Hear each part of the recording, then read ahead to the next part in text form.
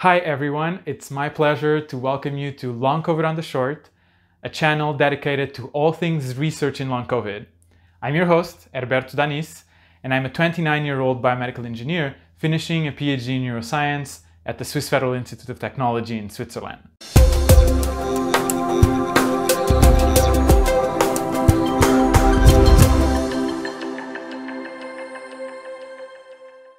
With this intro video, I want to tell you what this channel is going to be all about and one or two things about myself, you know, so you have an idea of who's behind this.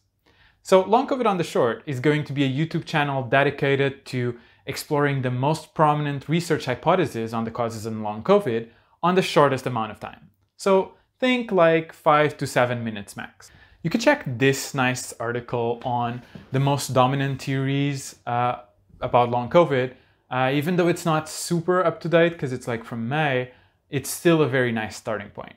So the theories are microclotting, vascular and endothelial dysfunction, autoimmunity, viral persistence, and immune dysfunction. When covering each of these theories, I'll present you with the most important uh, data and papers only, so I'm sure I'm not going to be able to cover everything here, right? After the videos on these theories, I am actually also pretty excited to make some videos where I try to tie these theories all together and some of the new papers are also trying to do that, which is pretty cool. And you know, let's see what comes up new uh, until then. But all in all, I just hope that these videos will manage to carry enough information that they will be good for interested clinicians trying to take care of their patients and also simplified in a way that people that don't have a background in science can also follow along what I'm trying to say. And with that said, I'll also uh, release 30 second shorts on every video, really saying very quickly what this theory is about.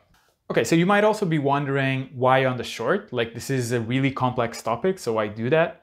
Uh, there's mainly two reasons for that actually.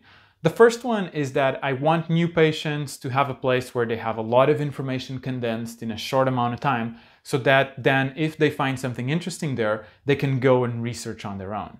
Then my second goal, which might be a little bit more naive, is that I want to break out of the patient bubble. I want these videos to be seen by the family and friends of long COVID patients, and most importantly, by the doctors who are taking care of long COVID patients. But that, that's why it needs to be short, right? While we as patients might be motivated to research for hours and hours or uh, watch hour and a half long videos, people that are healthy, you know, friends, family, general practitioners, and, and medical, uh, medical doctors that are not researchers, they don't have the time nor the motivation to do that, right?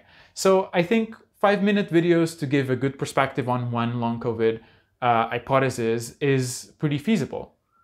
Also, this means that, you know, if you're an expert or a patient expert, uh, these videos might be too simple for you and you might think, well, I didn't cover this or that but I hope you understand what I'm trying to do, right? Okay, then another thing that I also thought would be important to talk about is why is a biomedical engineer uh, doing a PhD in neuroscience making videos about long COVID? I think it's always important that you try to find out a little bit more about the person who's giving you all this information. So to be clear, I'm not what you would classically call an expert in the field, like I'm not. However, what I have is a background in biomedical engineering that really allows me to follow uh, these concepts. I am a patient myself, which gives me the motivation uh, to research and to do these videos.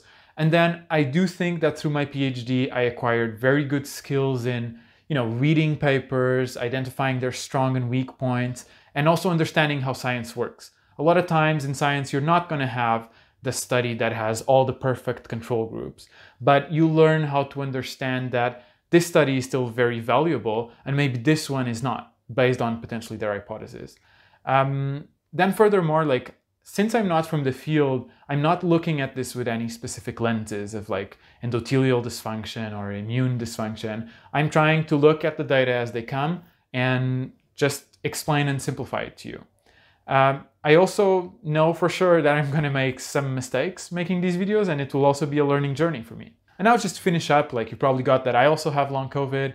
Uh, it's true, indeed, in the beginning of this year in February, I got COVID and unfortunately ended up developing uh, long COVID. Uh, even though I, I think I was in a very, very good physical shape, I had no other known conditions, and I had mostly an asymptomatic infection. Yeah, it sucks. But, you know, I'm someone who runs towards information in the face of the unknown. So as soon as I could, I started devouring long COVID research. And, you know, it gave me hope to see that people are looking into this and research is progressing, even if it's not progressing at the pace that I would like it to progress as, as a patient. Um, but I hope to pass on some of that hope to you. Like COVID 19 and long COVID, taking into account that they exist for like two and a half years, they are the most studied diseases in the world right now. They're not mysterious anymore, like some people like to say, and they are much, much more than just a respiratory disease. So, you know, for whoever needs to hear this, and most of the time that's myself as well, we will get out of this. But until then, I hope you stay safe. And if you're on this boat, I can only hope that your recovery is steady, even if it's not as fast as you would like. So stick around if you think this channel would be interesting for you. Uh, and yeah, see you in the next video.